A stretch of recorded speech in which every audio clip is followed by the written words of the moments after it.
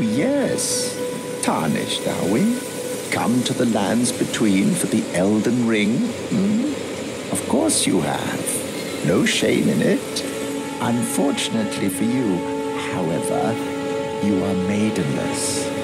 Without guidance, without the strength of runes, and without an invitation to the round table hold, you are fated, it seems, to die in obscurity. Luckily for you, however, there is one shining ray of hope for even the maidenless. Me, Varré. Take care to listen. Are you familiar with grace? The golden light that gives life to you tarnished. You may also behold its golden rays pointing in a particular direction at times. That is the guidance of grace, a path that a tarnished must travel. Hmm, indeed. Grace's guidance holds the answers. It will lead you tarnished to the path you are meant to follow, even if it leads you to your grave.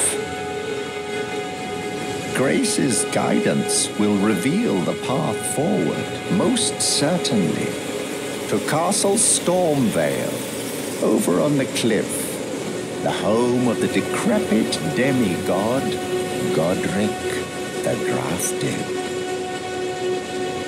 It's time you set off, I should think, to Castle Stormveil. If you seek the Elden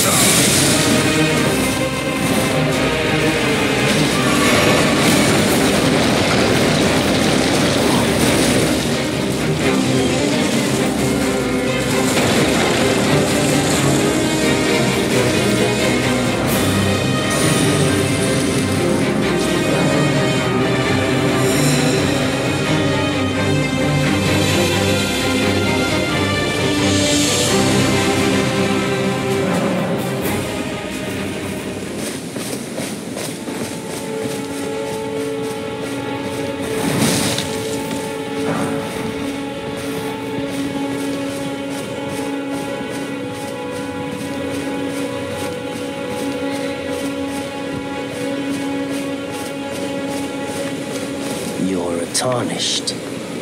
I can see it. And I can also see that you're not after my throat. Then why not purchase a little something? I am Kalé, purveyor of fine goods. I am of a nomadic people, selling wares as I travel. The land has been tainted by madness since the shattering of the Elden Ring.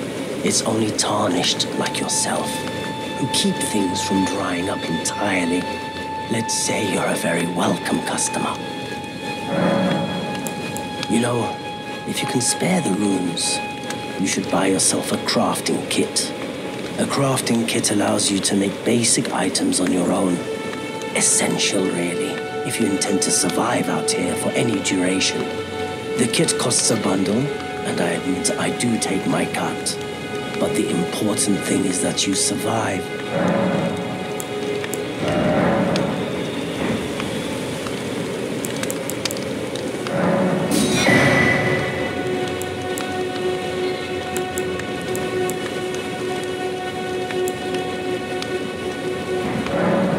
I'm glad you took my warning to heart.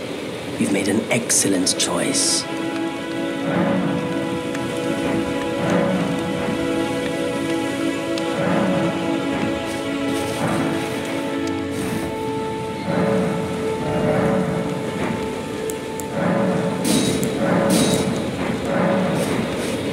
What is it? Goodbye.